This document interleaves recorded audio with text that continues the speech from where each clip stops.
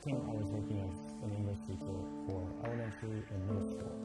I came with the JET program, which is a government program, uh, and we were just living in a small town of maybe only about 2,000 people. But when I was living there, I was able to interact with the community and be able to build all of these relationships with everyone around me. And that really helped me realize how much I loved living in Amazing